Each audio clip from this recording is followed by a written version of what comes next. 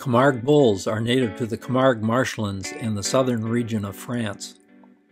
These intelligent, long-lived creatures are bred and raised for the sport of bloodless bullfighting that is a passion in this area.